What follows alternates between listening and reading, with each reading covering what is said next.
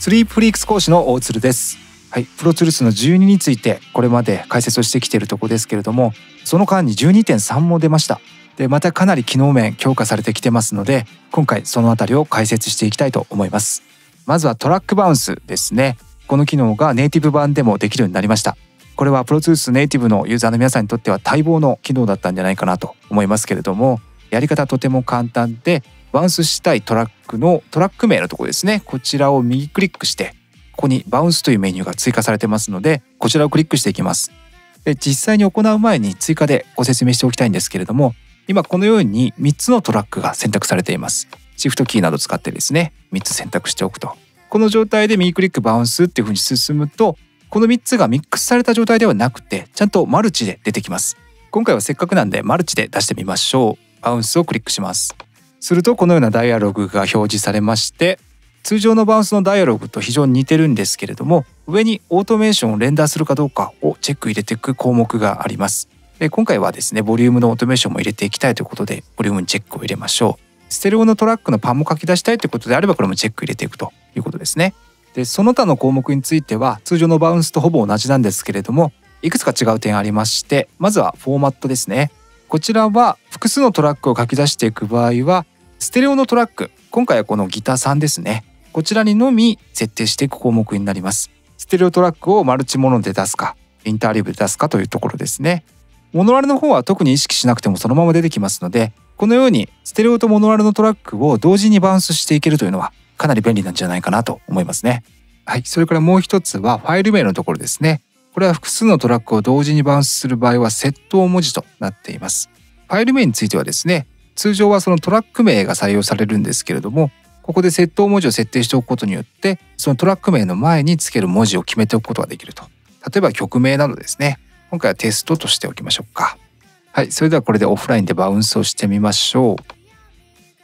はい終わりましたね。これで書き出した先見てみますとはいこのようにですね。テストの設定文字がついてそれぞれのトラック名のファイル名で3つのファイル書き出されています。で試しにこれそのままインポートしてみますとはい、このようにモノラルモノラルそれからステレオといった形で正確に書き出されています。ちなみにこのオーディオファイルは元のトラックのプラグインこれ全て適用されたものとしてバウンスされてますのでその点に注意してください。はいこのトラックバウンスはですねマルチトラックで書き出しをして共同作業者に渡したりあるいは仕事で納品をしたりといった際に非常に重宝すると思いますのでぜひ活用してみてください。続いてご紹介するのはトラックのコミットという機能です。コミットがどういうものかというとバウンスをすると同時にその元のトラックとバウンスしたものを置き換える。その置き換える時の柔軟性が非常に長けている機能だというふうに思っていただければと思います。例えばこの今選択しているベースのトラックですね。これ打ち込みのベースですけれどもこれをオーディオとして確定させたい場合なんかにはですねこのコミットの機能が非常に重宝しますはい、それでは実際にやってみたいんですけれどもその前に音を確認しておきましょうコミットしたいベースのトラックは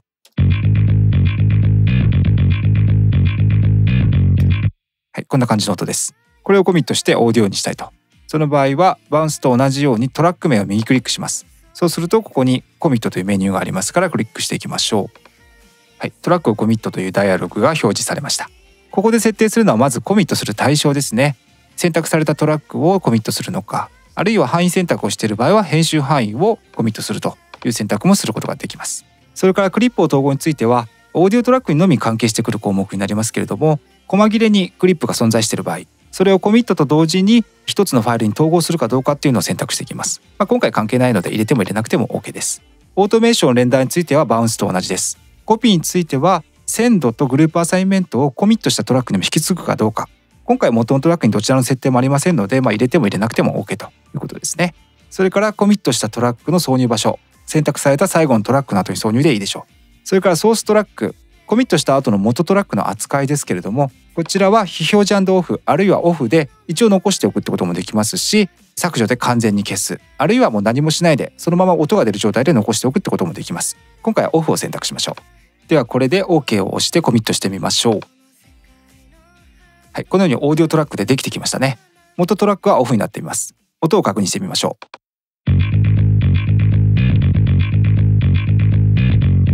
はい、このように元トラックの出音がそのままオーディオとして確定されてトラックとして完成したということになります。ちなみにですねこれと同じことが例えば先にオーディオトラックを作っていたとして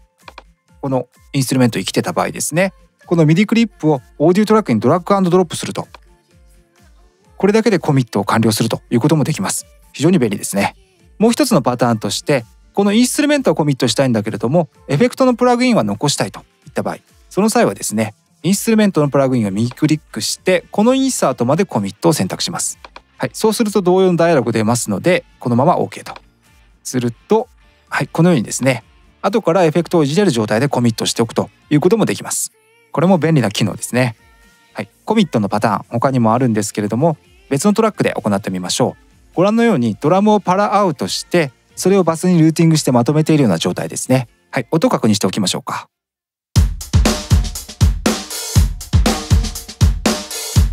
はい。こんな感じです。これをステムとして1トラックでコミットしたい場合はバストラックを右クリックをしてコミットを行います。後の手順は同じです。ではこのパラアウトの状態を残してそれぞれのトラックをコミットしたいという場合どうするかというとドラムのインストゥルメントのインサートを右クリックをしてこのインサートまでコミットを選択します。はい、今回ご覧のようにパラレルのコンプへの先導があります。それからグループも設定してありますのでこちらの項目は明確にチェックを入れておきましょう。はいこの状態でコミットしてみます。するとこのようなダイアログ出ますのでこれははいで OK です。するとレンダーの後にトラックが生成されていきます。はい完了しました。ミキサーの方でも確認してみましょう。このように先導の設定もそのまま引き継がれてますしあとグループの設定も残ってますね。なのでグループに設定している VCA もそのまま使っていきます。音も確認してみましょう。はい全く同じ状態ですね。一点注意があるんですけれどもこの方法でコミットを行う場合元のインストゥルメントのインサートの位置ですね。これと同列のプラグインについては全てここまでコミットされてしまいますのでこれをコミットに含めたくない場合は一段ずらすなどの工夫を行っておいてください、はい、以上がコミットの主な機能となります。それでは最後に12.3で追加されたその他の機能についても触れておきます。一つ目はバッチフェードという機能なんですけれどもご覧のようにオーディオクリップが細切れで配置されているあるいはつながっているような状態ですね。これに一つ一つフェードを設定していくというのは結構大変な作業になってしまうんですけれどもこういった際はフェードを設定したいクリップを全て選択をしておいて Mac でしたらコマンド F Windows でしたらコントロール F を押していきます。はい、するとこのようにバッチフェードという画面が出てきましてフェードインクロスフェードそれからフェードアウトを全て一気に設定をできるという形で進化をしています。なおかつそれぞれ細かく設定を変えることができましてフェードの形状なんかは当然なんですけれどもあとフェードの長さですねミリ秒単位でそれぞれ設定をしていけるさらにそれぞれのフェードに対する振る舞いですね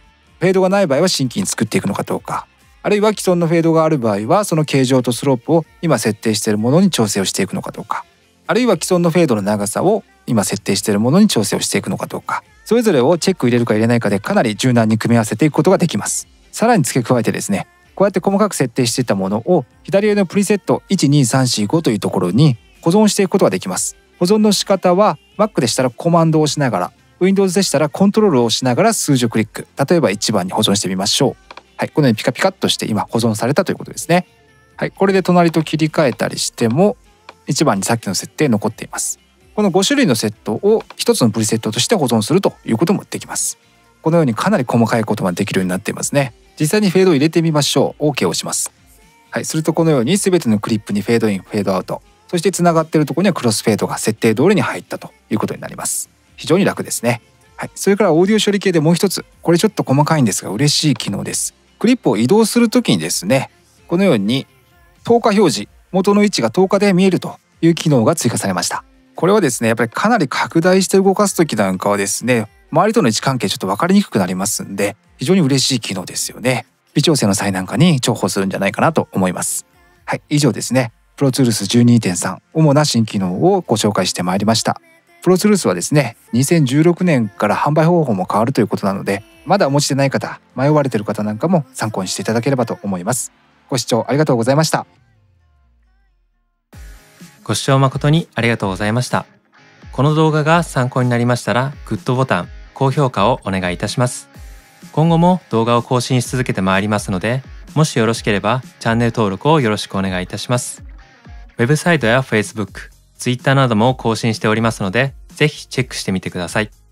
その他動画の再生リストなども用意しておりますのでパソコンの方はもっと見るをクリック。スマートフォンタブレットの方は動画のタイトルをタップしていただくとアクセスが可能です。またスリープリークスに対する応援メッセージやコメントなどをいただければ嬉しいです。今後ともよろしくお願いいたします。